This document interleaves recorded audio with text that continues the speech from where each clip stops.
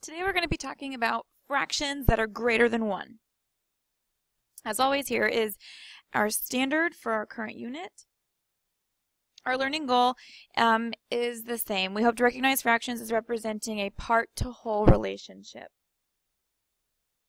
All right, let's try one together. We still have to see how many equal parts one whole is broken into, but it's super important that we look and see what the problem is telling us so we know how much one whole is. We know that from here to here, that is one whole because it tells us. So we're going to start there and figure out how many equal pieces our one whole is broken into. We have one, two, three. Again, that becomes our denominator, the number on the bottom. We then have to go back and see how many um, parts total are shaded in in the entire problem that they gave us. One, two, three, four, five. That number becomes our numerator. So our answer would be 5 thirds.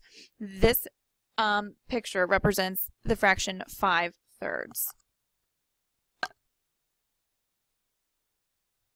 Let's try another together again, we have to look and see how much our one whole is broken into. So from here to here, one, two, three, four.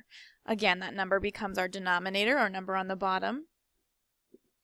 To find our numerator, we need to see how many total parts are shaded in. One, two, three, four, five, six. Six fourths is our answer for the fraction representing this picture. We know that 4 over 4, 1, 2, 3, 4, 4 over 4 is equal to 1.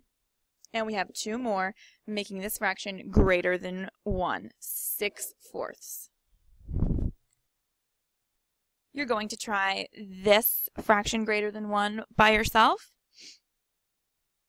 as well as this fraction. See you tomorrow.